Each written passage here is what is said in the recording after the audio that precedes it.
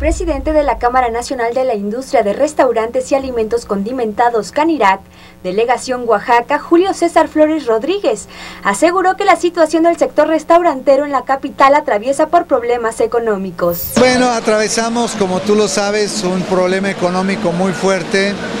Ha estado realmente problemática la situación, restaurantes que cierran, este, y eso nos preocupa mucho pero esperemos, viene muertos, viene una buena época. Este, algo que se está dando en Oaxaca y que es de remarcar es este turismo gastronómico, ¿no? Cada día tenemos un poquito más de gente que viene exclusivamente a comer, ¿no? A Oaxaca. Y más ahora en esta época de muertos, que vienen a degustar nuestros moles, que vienen a degustar nuestra cultura culinaria junto con la cultura de los muertos, ¿no? que es una gran tradición que tiene el pueblo oaxaqueño.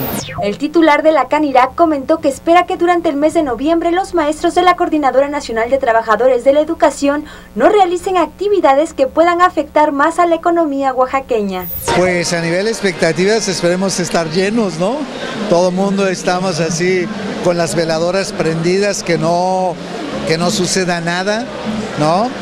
que nuestros queridos amigos de la ya sabes qué se estén con calmas, tranquilos, que les van a pagar.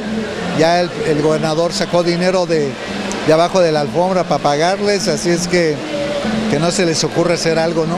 Finalmente destacó la importancia del próximo Congreso Mundial de Ciudades Patrimonio, el cual se llevará a cabo en Oaxaca del 18 al 22 de noviembre. Sobre todo porque hemos atravesado una situación económica muy difícil y todo el mundo está esperando este Día de Muertos. Y después poner a Oaxaca en un lugar que le corresponde por naturaleza, un lugar alto en la cultura de México, ahora que vamos a ser sede de las ciudades patrimonio.